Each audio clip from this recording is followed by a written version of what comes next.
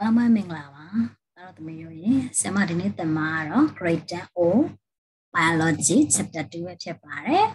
chapter 2မှာသင်ရမယ့်ခေါင်းစဉ်တွေက the flower pollination and fertilization ပါစာမျက်နှာပုံလေးစာထဲမှာစာမျက်နှာ21ကနေ30ထိပါတဲ့အကြောင်းအရာလေးဖြစ်ပါတယ်အဲ့တော့ the flower the flower ဆိုတာဘာလဲ what is the flower ပေါ့နော် flower အပွင့်ပန်းပွင့်ပန်းအပွင့်ဆိုတာကတဲ့ the reproductive structure of a plant နော်အပင်တစ်ပင်မျိုးပွားတဲ့ structure ပဲဖြစ်ပါတယ်တဲ့ first of a flower အပွင့်ရဲ့အစိတ်အပိုင်းတွေမှာဘာပါမလဲ exit ရိုးရန်ပါဝင်မယ်သူ pedicel လို့လည်းခေါ်တယ်နော်သူက stalk of flower အပွင့်ရဲ့ရိုးတန်လေးနဲ့ receptacle expanded end of the pedicel pedicel ကနေ expanded ချက်ကားလာတာလက်ခံပေးတဲ့အရာလေးပေါ့နော်အဲ့ဒါပုံမှန်ဒီကျတို့ ကြည့်လိုက်ကြရအောင်ဒီဘက်မှာအပွင့်တစ်ပွင့်မှာဒီဘက်မှာ couple ရှိမယ်ဒီဘက်မှာ stamen ရှိမယ် stamen က couple က female reproductive organ အမမျိုးပွားတဲ့အင်္ဂါနော်ဒီကျတော့အပင်ပဲဖြစ်ဖြစ်သက်ရှိပဲဖြစ်သမက်ပဲဖြစ်ဖြစ်လူပဲဖြစ်ဖြစ်တိရစ္ဆာန်ပဲဖြစ်ဖြစ်မျိုးပွားဖို့အတွက် male အထီးနဲ့ female အမလိုအပ်တယ်အဲ့လိုပဲအပွင့်မှာလေဒါဘက်က female reproductive organ ဒီဟာက male reproductive organ ဖြစ်တယ် နော်အဲ့ဒါက female reproductive organ couple male reproductive organ stigma couple မှာ stigma ပါမယ် style ပါမယ် ovary ပါမယ် ovule ပါမယ်ဒီ stigma ဘာလို့လဲပတ်မှုရဝတ်မုံလေးတွေကိုဆက်တယ်လေအဲ့ဒီဝတ်မုံလေးတွေကိုလက်ခံပေးတယ် style ကဒီဝတ်မုံကိုတောက်ခံပေးရတဲ့ယူရန်လေးဖြစ်တယ် ovule ဆိုတာမျိုးဥအိမ်ဥဥအိမ်လေးဖြစ်တယ်အဲ့ဒီဥအိမ်လေးကိုလက်ခံပေးတာက ovary ဖြစ်တယ် အန်တာကဝတ်ဆန်ဝတ်ဆန်လေးပေါ့နော်ဝတ်ဆန်ဖြစ်တယ် filament ကရိုးတယ်ဖြစ်တယ်အဲ့ဒီခုပေါင်းလိုက်တော့ statement ဖြစ်သွားတယ် pattern ကတော့အပွင့်အလွှာပေါ့နော်ပွင့်လွှာဖြစ်တယ် suburb ကကြတော့သူကများသောအားဖြင့်အရွက်ပုံသဏ္ဍာန်ဖြစ်တယ်အစိမ်းရောင်ကာလာရှိတယ် suburb က padisel ကလူတဲ့ receptacle ကဒါကြီးကိုလက်ခံပေးရတယ်ဒီလိုခုံခုံလေးရတယ် စပယ်ကတော့အပွင့်ရဲ့အပြင်ဆုံးအလွှာဖြစ်တယ်ပြီးတော့သူကအရွက်ပုံသဏ္ဍာန်ဖြစ်တယ်ပြီးတော့အစိမ်းရောင်ဖြစ်တယ် Kalish ကိုတွားရ Kalish ကပါလေ outermost hollow of the flower အပွင့်ရဲ့အပြင်ဆုံးအလွှာဖြစ်တယ်သူ့မှာစပယ်လေးတွေပါဝင်တယ်စပယ်ဆိုတာနော်ဒီကျတော့ပြောခဲ့တဲ့ green ရှိတယ်အစိမ်းရောင်ရှိတယ် small thing တွေပေါ့နော် Kalish က function တွေကပါလေ production ကာကွယ်မယ် assimilation အာဟာရတွေကိုစုပ်ယူပေးမယ် attraction မျိုးပွားဖို့တစ်ခုနဲ့တစ်ခုအတွက်သူဆွဲဆောင်ပေးမယ် special function ကိုသူရဲ့ special function ကိုထမ်းဆောင်မယ် corolla corolla ကဘာလဲ corolla ဟာ second hall of the flower ပန်းပွင့်ရဲ့ဒုတိယအလွှာဖြစ်တယ်သူမှာ consists of bright color petals နော် bright တောက်ပါသော color အယောင်စုံနဲ့ petal ပွင့်လွှာလေးပါဝင်တယ်ခါလာဘယ်ရရလဲသူ့မှာပါဝင်တဲ့ကာလာက reserve from pigment pigment ကနေရတယ်အယောင်ချယ်ပစ္စည်းရတယ်နော်အယောင်ချယ်တဲ့ဟာရတယ်အဲ့ pigment ကဘာနဲ့ဘာနဲ့ပေါင်းစပ်ထားတာလဲဆိုတော့ anthocyanin and carotenoids ပေါင်းစပ်ထားတာဖြစ်တယ်နော်အာဒီချေတို့အပွင့်နေမှာရလာတဲ့အယောင်တွေကဘယ်ရလဲ pigment အယောင်ချယ်ပစ္စည်းကနေရတယ်အဲ့ pigment အယောင်ချယ်ပစ္စည်းကဘာနဲ့ဘာနဲ့ပေါင်းထားလဲ anthocyanin and carotenoids ပေါင်းစပ်ထားတယ် fragrance fragrance ဆိုတာအနံ့ပေါ့ရနံ့ပေါ့နော်အပွင့်ရဲ့အရနံ့နေကျတို့ပြရကြလဲဘာကြောင့်ဖြစ်လဲ is due to the presence of essential oils in the petals ဖတ်တဲ့ပွင့်လွာလေးထဲမှာသူ့အတွက်အဓိကလိုအပ်တဲ့အဆီလေး present ပါဝင်နေတဲ့ကြောင့်အပွင့်ရနေအနံ့ရတာဖြစ်တယ်တဲ့ fashion အဲ့ဒီအပွင့်ရဲ့ corolla ရဲ့ fashion တာဝန်ကဘာလဲ protection ကာကွယ်ပေးမယ် attraction ဆိုရဆောင်တယ်အမနော် တော့ဒီကျတော့ androsyum စင်ကပါလေသူက third floor of flower floral leaves အပွင့်အရွက်ကတတရအလွှာဖြစ်တယ် stamen ဖြစ်တယ် stamen ဆိုတာအရှိရဒီကျတော့ဒီပုံမှာပြောခဲ့ရပါလေ stamen ဆိုတာ male reproductive organ ပဲတဲ့နော်သူ့မှာဗာနဲ့ဗာနဲ့ပါဝင်မလဲ filament နဲ့ anther နဲ့ပါဝင်မယ် filament နဲ့ anther filament ဆို filament ဆိုတာဗာလေ threadlike stalk of stamen stamen ရဲ့ threadlike stalk ပဲဖြစ်တယ်နောက် တစ်ခုကဘာလဲ anther at the tip of the filament contain pollen grain at the tips of tape နော် filament ရဲ့ထိပ်မှာနေတယ်သူမှာ pollen grain လေးတွေပါဝင်တယ်တဲ့နော်ဒီချက်ကပုံနဲ့စာနဲ့ပြန်ရှင်းတာ just လေးနဲ့နော် pollen grain ဆိုတာဘာလဲ pollen grain ကမွေးဖွားပေးလိုက်တဲ့ male reproductive cell လေးတွေမွေးဖွားပေးလိုက်တဲ့ gametes လို့လည်းခေါ်တယ်အဲ့ဒါလေးမွေးဖွားပေးတယ်သူ့ရဲ့တာဝန်ကတော့ reproductive organ soma reproduction ပေါ့ဟုတ်နော်ကျွန် တော် slide ကိုတွားရအောင် gynosym gynosym ကဘာလဲ gynosym ဆိုတာကပြဒီဘက်ကဟာပြောတာနော်ခုန androgens ကဒါကိုပြောတာအဲ့တော့ gynosym က fourth hall of floralis အပွင့်အရွက်က fourth hall ဆိုတော့မြအလွာဖြစ်တယ် lies in the center center မှာတည်ရှိနေတယ်အဲ့ဒီကောင်လုံးက center မှာတည်ရှိမနေဘူးလားနော် lies in the center မှာတည်ရှိနေတယ် သူမှာ couple female reproductive organ couple ကဘာလဲ female reproductive organ ပါဝင်နေတဲ့သူမှာ ovary ပါမယ် style ပါမယ် stigma ပါမယ် ovary က bosozoan para couple couple ရဲ့ဝါမျိုးရဲ့အစိတ်အပိုင်းဖြစ်တယ် produce ovules ovary ကပထမ ovary ကဘာလေးထုတ်ပေးတာလဲဒီ ovules လေးထုတ်ပေးတာ ovule တစ်ခုချင်းစီများလို့သူ s မထည့်တာလားဒီမှာအများမလို့ s ထည့်ထားတာပေါ့နော် produce ovules လေးတွေထုတ်ပေးတယ် containing female gametes နော် female gametes လေးတွေပါဝင်တယ်တဲ့အဲ့ဒါက stigma stigma ဆိုတာဘာလဲတဲ့ stigma ဆိုတာ expanded or divided end of the stem stem ရဲ့ပိုင်းခြားတဲ့အစုံသို့မဟုတ် expanded ပြန့်ကျဲလာတဲ့အရာကိုပြောတာနော်ဒီမှာ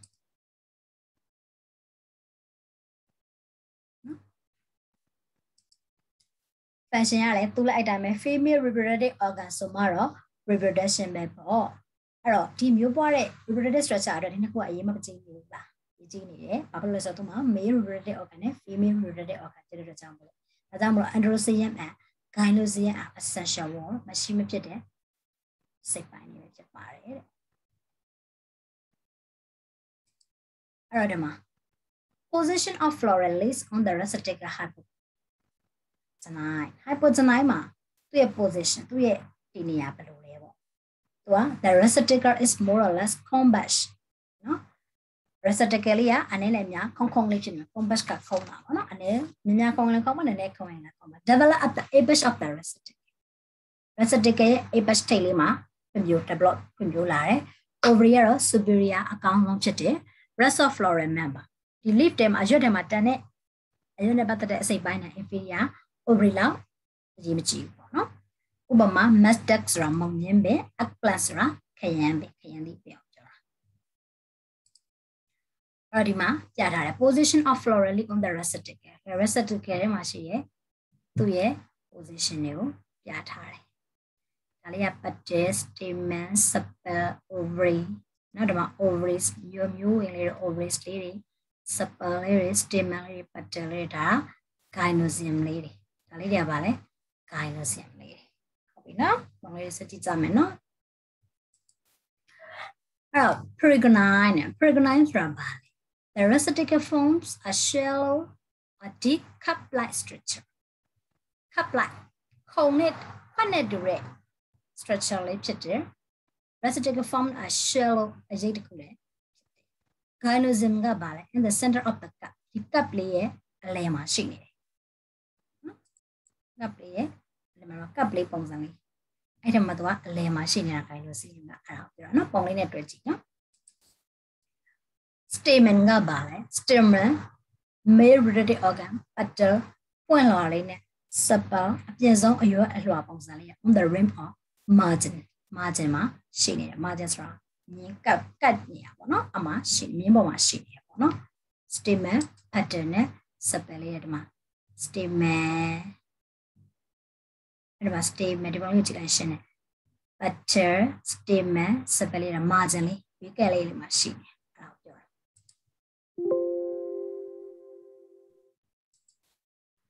ovary ကတော့ half inferior သူကတော့တော့အလေတော့တော့မှကြာနေအဲ့ဒါပြောတာနော်ဥပမာတဲ့ example rose နေစီပန်းမယ် fish မမွန်ဒီပင် အဲ့တော့ epigenetic epigenetic ကဘာလဲ reciprocal enclose the ovary သူ့မှာ reciprocal လေးက ovary ကို enclose ဖုံးထားမယ်ဖုံးထားအောက်ထားမယ် stamen နဲ့ petal ရဲ့ sepal ရဲ့က are interested sorry inserted on the top of the ovary ovary ရဲ့ထိပ်မှာရှိနေမယ်သူသူ့မှာတော့ ovary က inferior နော် ovary ကအောက်ကျမယ်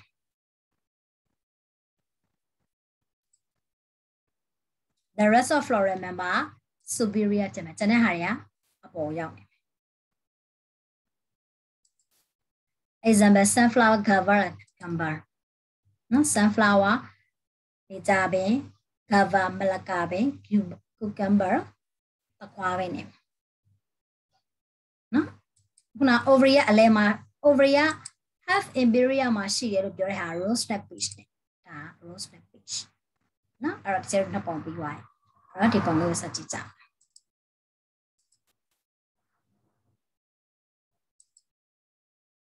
inflorescences inflorescences ကတဲ့ဘာလဲတဲ့ indefinite or raised mode or definite or side mode indefinite လို့လည်းခေါ်လို့ရတယ် raised mode လို့လည်းခေါ်လို့ရတယ် definite လို့လည်းခေါ်လို့ရတယ် side mode လို့လည်း the main axis produces a flower laterally the lower or peripheral are older and open earlier than the upper or inner ones ဒါကဘာလဲ main axis or lateral one terminate flower the terminal flower is older and open earlier than the lateral one stick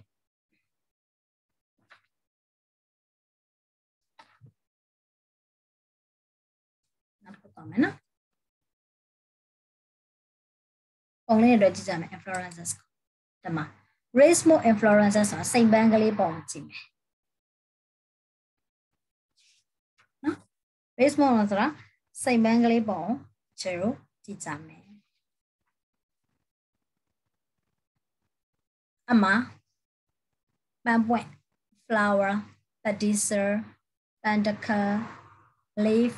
bud bud ဆိုတာအဖူးလေးပန်းပွင့်မပွင့်ငယ်အဖူးလေးပူတာ bud လို့ခေါ်တယ် flower ပန်းပွင့် pedicer ဆိုတာ stalk of the flower ပန်းပွင့်ရဲ့အညာလေးပေါ့ နော် pentacle ဆိုတာ brush အပိုင်းမျိုး leaf ကအရွက်ဓမ္မ territory pentacle ဆိုတာတတိယအဆင့်နော်တတိယအဆင့် secondary ဆိုတာဒီမှာတော့အပင်ရတာဒီမှာ stem နော် stem ကပင်စီ stem ပေါ့နော် stem ကပင်စီ cymos မှာတော့တိတ်တိတ်ပန်းပေါ့နော်ဒါတိတ်ပန်း cymos inflorescences ကိုကြည့်မယ်ဆိုရင်ဒီမှာ stem ကပင်စီ leaf ကအရွက်နော် primary pentacle ဆိုသူ့ရဲ့အဓိကရေတောက်မြတ်နော်အဓိကဟာပြီးတော့ bread ကအခွန်လေးပေါ့အရွက်ခွန်အလွှာနော် secondary pentacle ဒုတိယယူတယ် territory pentacle တတိယအကိုင်အကိုင်ယူတယ်ပြောတာနော်အဲ့ဒါဒီမှာ head ဆိုတာခေါင်းပေါ့ဒါမှမဟုတ်သူ့ကို capitulum လို့လည်းခေါ်တယ်ဒီမှာအပွင့်ရဲ့ခေါင်းနော်အဲ့ဒီမှာသူက ray flora နဲ့ dis flora ဆိုပြီးတော့ရှိတယ်အဲ့တော့ ray flora ဆိုတာ ray ဆိုတာပါလေညောင်ကြည်တန်းနေ dis ဆိုတာ ray flora နဲ့ dis flora ဆိုပြီးနှစ်ခုရှိမယ်တဲ့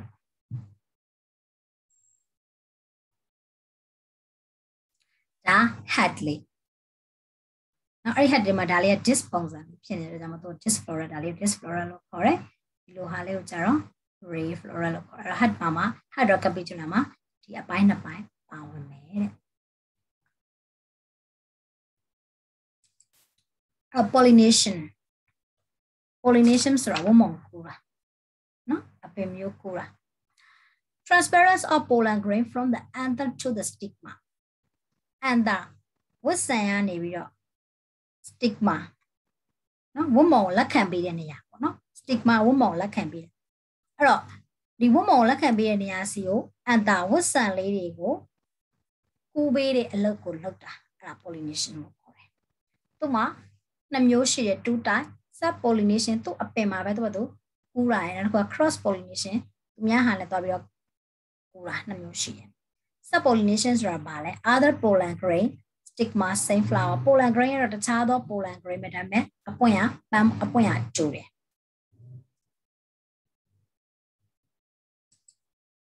အမ homogamy နဲ့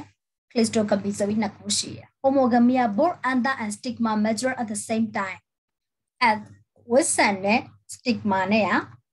တပြိုင်တည်းမှာ mature ဖြစ်ကြမယ် take place before the flower open အပွင့်မပွင့်ခင်တို့ဖြစ်မယ်ဥပမာပတ်ဒီစဘာတူဘကိုဆေးရွက်ကြီးဝှိဂျုံနဲ့ဆန်လက်မစ်တွေမှာဖြစ်မယ်တဲ့နော် cleistogamy cleistogamy ဆို close flower close ဆိုတာပွင့်နေတာနော်အများနဲ့တော့ဘရောမပွင့်တော့ဘရောမဖော့မပွင့်တော့ဖော်ပေါဖုံးနေတာပေါ့နော်အများနဲ့ဖုံးနေတာ example Comilina မြတ်ချို and impatient jamban အဲ့တော့ cross pollination ဆိုတာဘာလဲတဲ့ကျန်အောက်မှာပြီးပုံကြည့်လိုက်တော့ကိုရှင်းပါမယ်နော် other pollen grain တခြားသော pollen grain တွေကနေပြီးတော့ stigma not sunflower နော် same flower ပါနော်ဟိုတူတဲ့အပွင့်နေမဟုတ်ဘူးအမှ endomorphy endomorphy ဆိုတာဘာလဲအဲ့ဒါကဘာလဲ animorphy နော် endomorphy နဲ့ animorphy ဆိုပြီးတော့ရှင်းမယ်တဲ့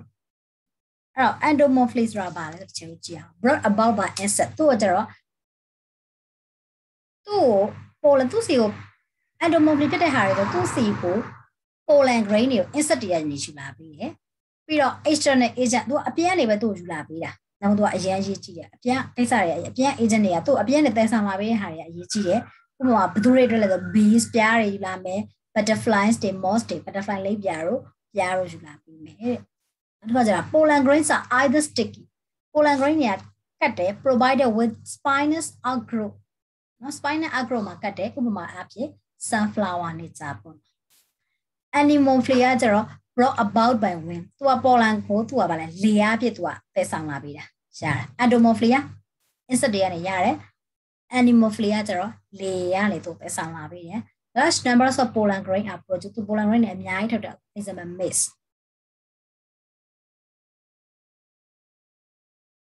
အဲ့တော့ဒီကျတော့နမူနာကြည့်ရအောင်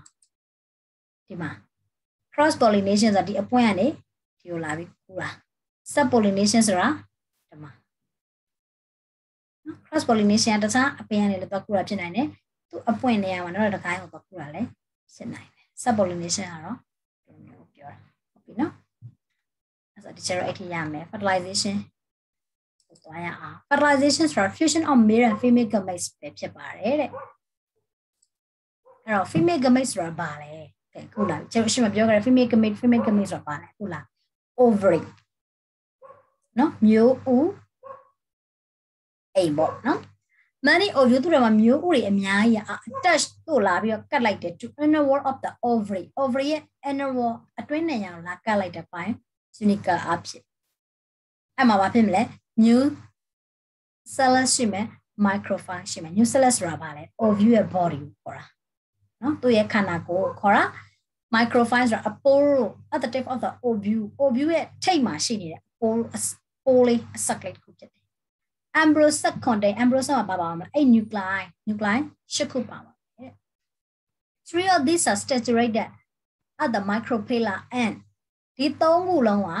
microphylla end မှာတရှိနေမယ်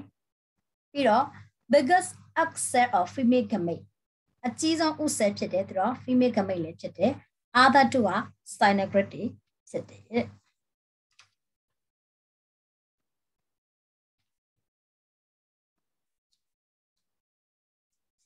တော့အခုထပ်သွားရအောင် the three cell at the opposite end နောက်ထပ်သူ့ရဲ့ဆန့်ကျင်ဘက်အစွန်းတစ်ဖက်မှာရှိရနောက်ထပ်3 cell တွေရတော့တဲ့ antibody cell တွေဖြစ်ပါတယ်တဲ့ at the center အလယ်မှာတော့ two polar nuclei nuclei နှစ်ခုရှိတယ်တဲ့ပုံလေးကြည့်လိုက်ရင်ရှင်းသွားမယ်နော်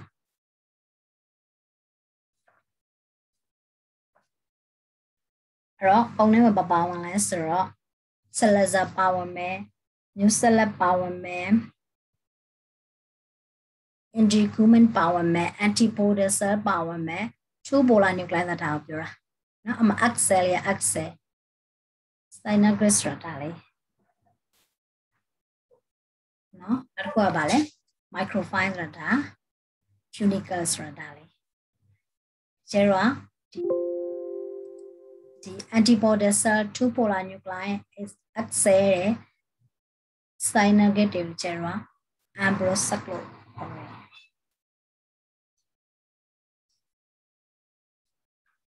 ဒါလေးကတော့ balance of overview ပဲဖြစ်ပါတယ်တဲ့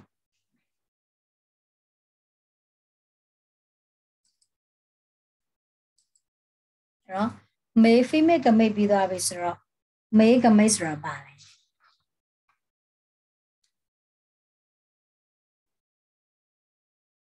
တော့ male ကမိတ်ဆိုတာတဲ့ formation take place inside the pollen pollen ရဲ့အတွင်းထဲမှာပဲဖြစ်တယ်သူရဲ့ formation ဖြစ်စဉ်ကနောက်တစ်ခုက uninucleic and possess two layer wall သူက nuclear unit နှစ်ခုရှိမယ် possess two layer wall အလွှာနှစ်ခုပါပါမယ် inner intine နဲ့ outer exine ပါဝင်မယ် inner intine က soft နူးညံ့မယ် and thin ပါမယ် outer exine ကျတော့ tension provided with spinous agro နော်သူ spinal agro နဲ့ပိုင်းထားမယ်တဲ့ jampo jampo တွေက present in the exine ထဲမှာတည်ရှိနေတ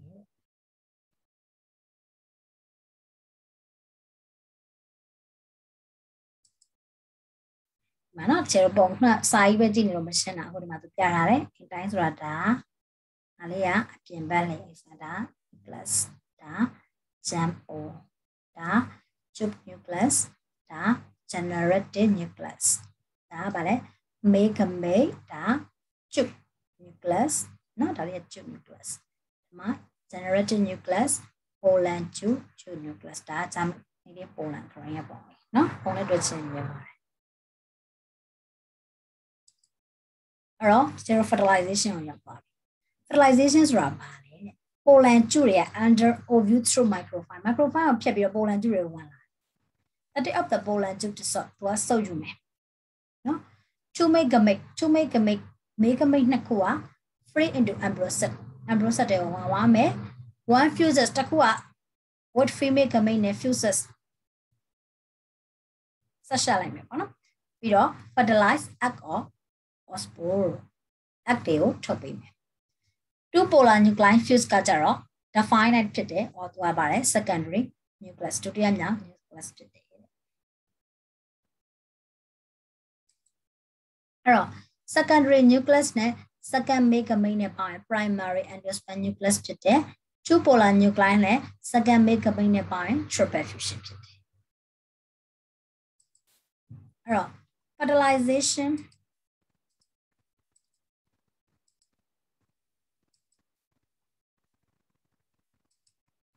fertilization and triple fusion ကပါတယ် fertilization and triple fusion double fertilization ကိုသွားတယ် Synagrid direct the male gamete to the egg cell and polar nuclei they then disintegrate ဖြစ်သွားတယ် antibody cell တွေ disappear ပြတ်ကွယ်သွားတယ် before fertilization fertilization မဖြစ်ခင်မှာ antibody cell တွေကပြတ်ကွယ်သွားပါတယ် ်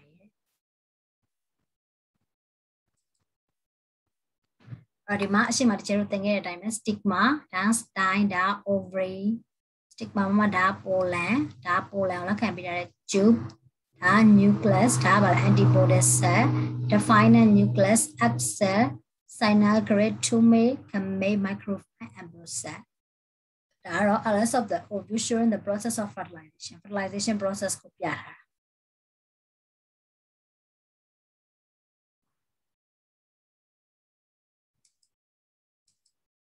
အဲ့တော့ fertilization changes after changes of of fertilization ဘာတွေပေးလဲပေါ့ဘာတွေပြောင်းလဲသွားလဲ stigma style and stamen and petal wither and follow ကြွကြသွားတယ်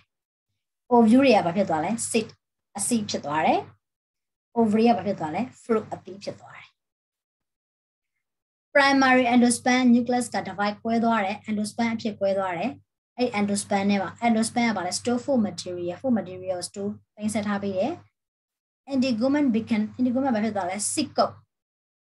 အစီရအပေါ်အခွန်ပေါ့နော်အခွန်လေးဖြစ်သွားတယ်ကုတ်တို့ဖောင်းပေးတဲ့အရာလေးဖြစ်သွားတယ် instant cultivated plant တချို့ဂျိတ်သိမ်းရတဲ့